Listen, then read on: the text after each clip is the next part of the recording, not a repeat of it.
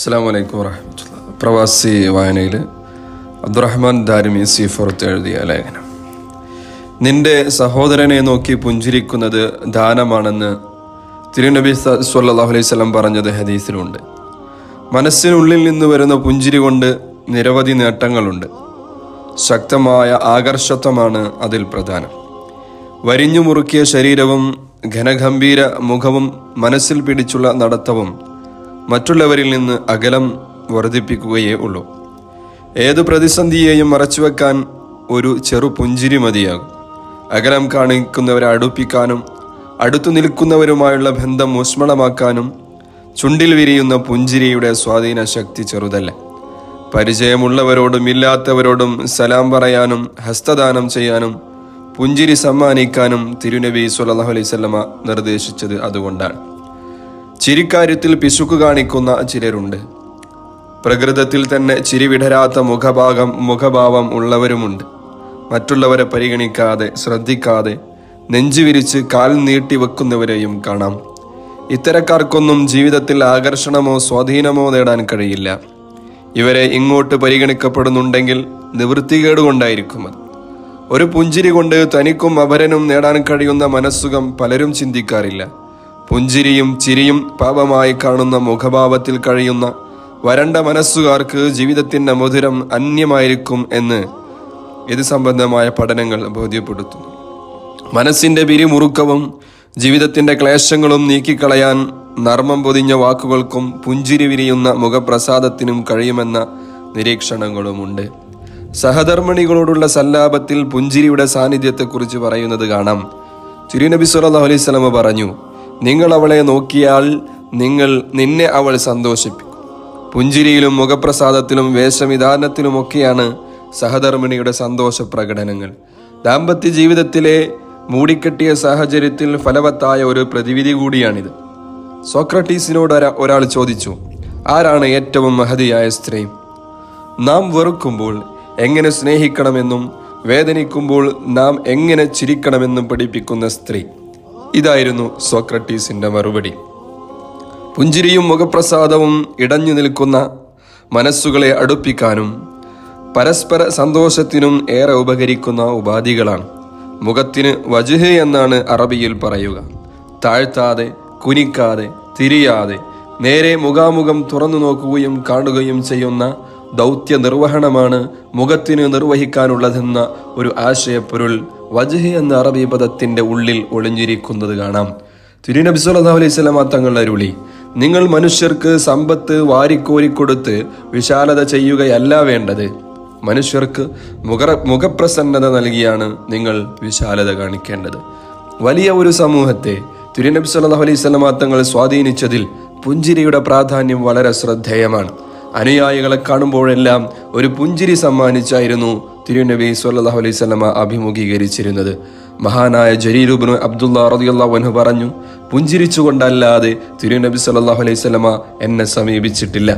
മഹാനായ ജാബിർ അൻഹു പറഞ്ഞു സുബഹ് നിസ്കാര ശേഷം സൂര്യോദയം വരെ ഞാൻ നബി സല്ലാഹു അലൈഹി സ്വലമ തങ്ങളോടൊപ്പം ഇരിക്കാറുണ്ട്. ജാഹിലിയ കാലത്ത് ചെയ്തിരുന്ന പല വികൃതികളും പറഞ്ഞ് ഞങ്ങൾ ചിരിക്കും. ഇതെല്ലാം കേട്ട് തിരുനബി സല്ലാഹു അലൈഹി സ്വലമ തങ്ങൾ പുഞ്ചിരി തൂകും. നിസ്സാരമെന്ന് കരുതുന്ന പല ചെറിയ കാര്യങ്ങൾക്ക് പോലും ജീവിതത്തിൽ വലിയ സ്വാധീനങ്ങൾ ഉണ്ടാക്കാൻ സാധിക്കും. എത്ര കലഹിതമായ അന്തരീക്ഷത്തെയും ഒരു ചെറു പുഞ്ചിരി കൊണ്ട് ശാന്തമാക്കാൻ കഴിയുമെന്നതാണ് സത്യം. തിരുനബി സല്ലല്ലാഹു അലൈഹി സ്വലമയുടെ സ്വഭാവത്തിന്റെ തുറന്ന അടയാളമായിരുന്നു തിരുമുഖത്ത് സദാ കാണപ്പെട്ടിരുന്ന പുഞ്ചിരി.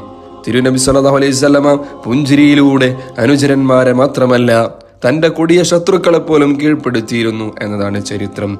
യുദ്ധമുഖത്ത് പോലും ശത്രുസേനയുമായുള്ള സന്ധി സംഭാഷണത്തിൽ പ്രസന്ന മുഖഭാവത്തോടെ മുഹമ്മദ് നബി വസല്ലമ പുഞ്ചിരി സമ്മാനിച്ചത് കാണാൻ കഴിയും.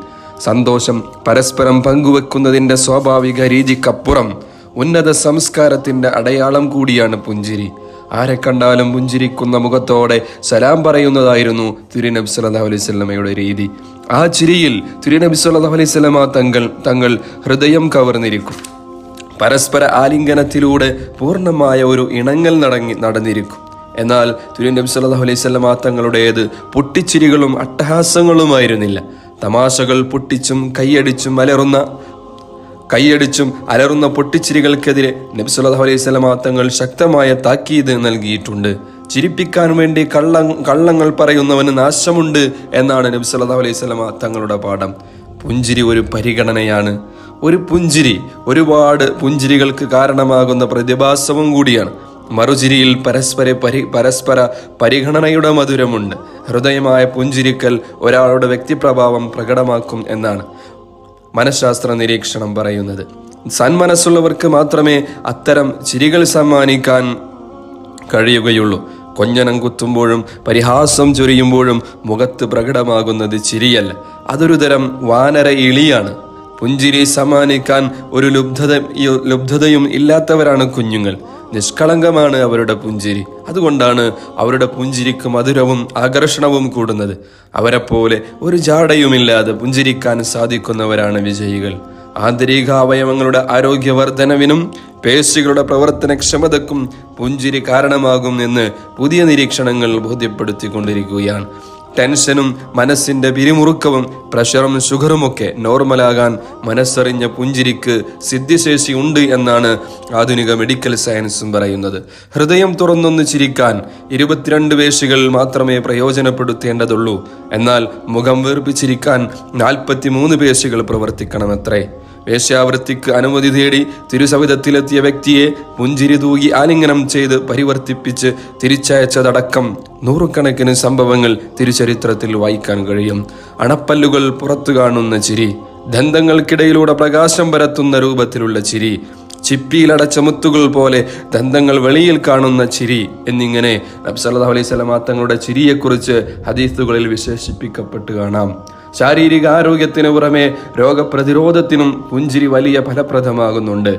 ഹാസ്യ സിനിമകൾ ഗുരുതര രോഗികളിൽ വലിയ മാറ്റമുണ്ടാക്കുന്നുവെന്ന പഠന റിപ്പോർട്ടുകൾ ഈയിടെ ഏറെ ചർച്ച ചെയ്യപ്പെട്ടിരുന്നു. മരുന്നിന് പോലും മരുന്നിനോട് പോലും പ്രതികരിക്കാത്ത രോഗ രോഗങ്ങൾ അവസാന രൂപം എന്ന നിലക്കാണ് ചിരി ചികിത്സാ പരീക്ഷണം നടത്തിയത്. അത്ഭുതകരമായിരുന്നു അത്രേ ഫലം.